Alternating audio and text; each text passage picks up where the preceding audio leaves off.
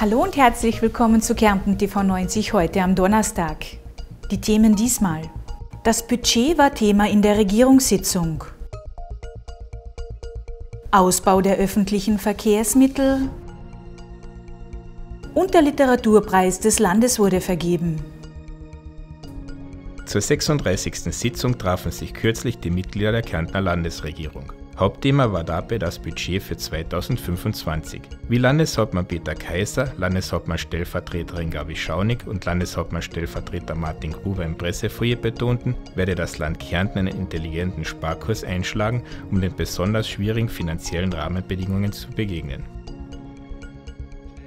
Mit dem Fahrplanwechsel am 15. Dezember kommt es zu einem weitreichenden Ausbau der öffentlichen Verkehrsmittel in Kärnten. So wird etwa die Kärntner S-Bahn erstmals in allen Bezirks- und Statutarstädten von 4 bis 23 Uhr fahren.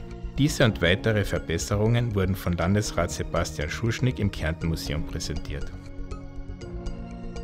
Der Literaturpreis des Landes für Prosa geht in diesem Jahr an Regina Klein. Landeshauptmann und Kulturreferent Peter Kaiser überreichte den mit 2000 Euro dotierten Preis an die Klagenfurter Schriftstellerin für ihr Werk Das Mundstück. Ausgezeichnet wurden im Museummuseum auch Eva Prieslinger, Johanna Ecker und Christian Miksche. Pünktlich am 11.11. .11. um 11.11 Uhr .11 wurde in der Landesregierung der Fasching geweckt. Landeshauptmann Peter Kaiser und Landeshauptmann Stellvertreter Martin Gruber empfingen die Kärntner Gilden im Spiegelsaal. Nach Feldkirchen ist Bad St. Leonhard in diesem Jahr die Faschingslandeshauptstadt.